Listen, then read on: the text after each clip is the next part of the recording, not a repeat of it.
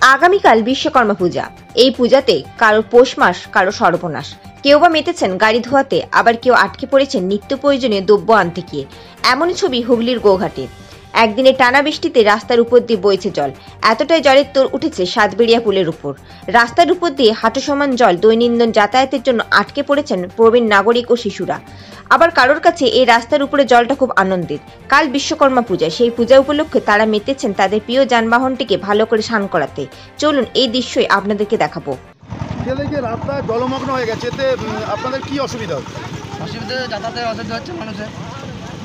পাবলিকের যাতায়াত অসুবিধা হচ্ছে বন্যা রাস্তা মেন রোড মেন রোডে জল দাঁড়িয়ে গেছে অসুবিধা তো মানুষের হচ্ছে সবারই মানুষের অসুবিধা হচ্ছে আমরা এই যে গাড়ি হচ্ছে আমরা বিশ্বকর্মা পুজো কালকে। মানে এটা আপনাদের কাছে কিন্তু অসুবিধা নয় কারণ আপনারা এখানে গাড়ি দিতে পারছেন তাই তো? হ্যাঁ, গাড়ি আমরা এখানে দিতে পারছি। আপনার নাম? আমার নাম শুভঙ্কর পণ্ডিত। বাড়ি? বাড়ি শিবপুর ধন্যবাদ। যে দাদা রাস্তার উপর জল উঠেছে এতে আপনাদের কি সুবিধা হচ্ছে? আমাদের গাড়িগুলো ধুতে একটু সুবিধা হচ্ছে। কালকে বিশ্বকর্মা পুজো তাই জন্যই আমরা এখানে গাড়িগুলো ধুই আপনার নাম? শিবু দাস। বাড়ি? শিবু। ধন্যবাদ। ডিবিসি? ডিবিসি জল ঢাললে এখানে ভর্তি হয়ে যায়?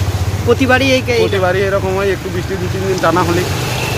এখন যাত্রীদের কীভাবে যাতায়াত করছে? যাতায়াত করছে মানে এখন স্বাভাবিক আছে তো হাঁটুর নিচে হাঁটুর নিচে উপরে হলে প্রশাসন তখন এখানে লাল সতর্কতা জারি করে দেয়। কারণ এখানে দু তিন বছর আগে একজন মারা যায় জলের টানে। যার জন্য এখানটা প্রশাসনের নজরে একটা ভালো জায়গায় আছে। আর বলছি রিক্সেই যাতায়াত করছে সব মোটামুটি। হ্যাঁ হ্যাঁ। যাতায়াত কেমন কষ্ট হচ্ছে? যাতায়াত কষ্ট হচ্ছে কি করব বলুন?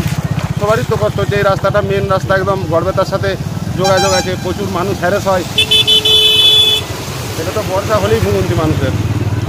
এই রাস্তাটা কোথায় যে কোথা থেকে কোথা যায়? এটা আরামবাগ মেন রুটের সাথে একবারে গড়বেতা মিশেছে।